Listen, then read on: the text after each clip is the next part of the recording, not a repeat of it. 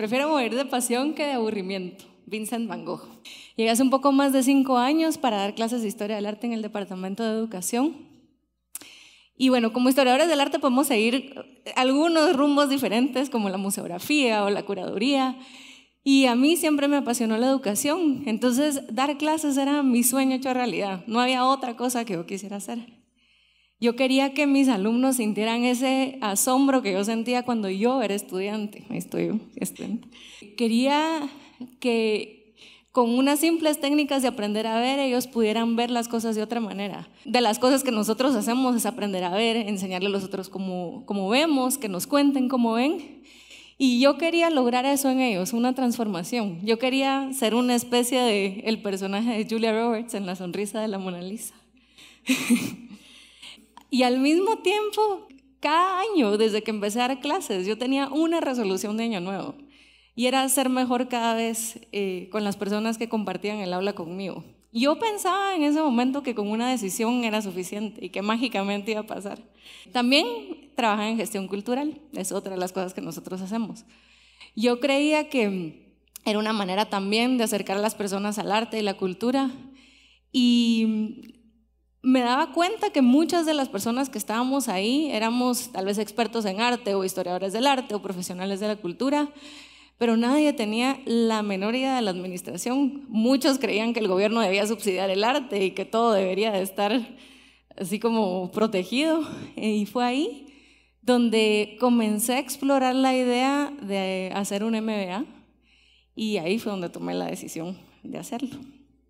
Al principio todo parecía desconectado. Todo el mundo cuestionaba mi decisión porque de verdad no era el curso de acción que alguien como yo debía tomar. Eh, podía estudiar cualquier cosa menos administración.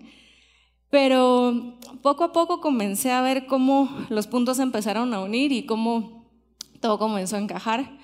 Eh, tenía mucho miedo porque en mi vida había visto una hoja de Excel, eh, mucho menos números desde que había salido del colegio. Pero tuve la enorme suerte de encontrar a un grupo de compañeros que estaban tan comprometidos con la educación como yo y estudiamos todo el tiempo, en todos los momentos que teníamos libres, en las horas de almuerzo, eh, en la noche. Eh, todos sabían más que yo, entonces me explicaban. Y nos sentíamos superhéroes cuando conquistábamos aprendizajes. Yo me sentía eufórica cuando entendía, por ejemplo, la lógica de la evaluación. Y las clases seguían viniendo y seguíamos perseverando a veces de verdad ya no damos una más y no, yo no veía cómo iban a poder salir, pero al final lo logramos y, sentí, y seguíamos perseverando. Y fue ahí donde las piezas comenzaron a tener sentido y comenzaron a encajar, porque durante esos dos años yo tuve una posibilidad que no lo hubiera tenido de otra manera, y fue la de ser alumna, otra vez, y fue la de darme cuenta cómo yo aprendía y cómo funcionaba mi proceso de aprendizaje y cuáles eran esas posibilidades de explorar que me estaba dando la maestría y me estaba dando el ser alumno otra vez.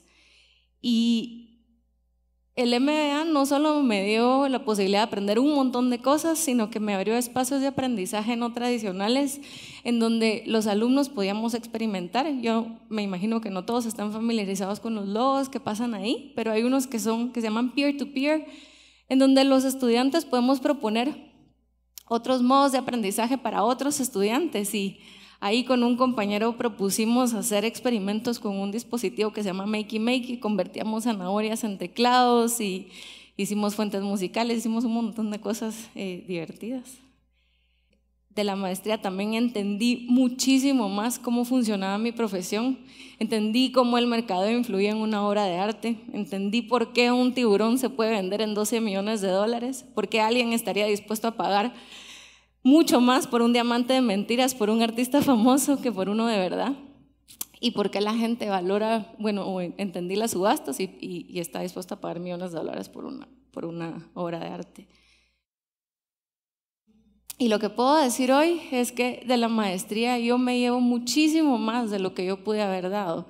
Bueno, aparte de haber entendido qué quiere decir crear valor y que hay que oírle a toda costa cosas tales como el monstruo de la inflación y otros males de la economía, eh, entendí qué quiere decir ser un emprendedor y entendí que uno no necesariamente tiene que poner un negocio para emprender, sino que uno puede emprender en su vida, uno puede emprender en cualquier trabajo que esté.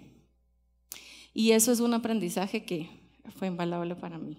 Hoy mi resolución este año va a ser la misma y va a ser ser mejor cada día y ser mejor en cada clase, pero hoy sé también que no es solo una decisión y que es algo que va a pasar mágicamente, sino que todo es un proceso de mejora continua y que la persistencia es finalmente lo que lo lleva a uno a la excelencia.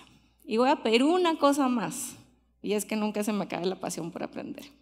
Muchas gracias.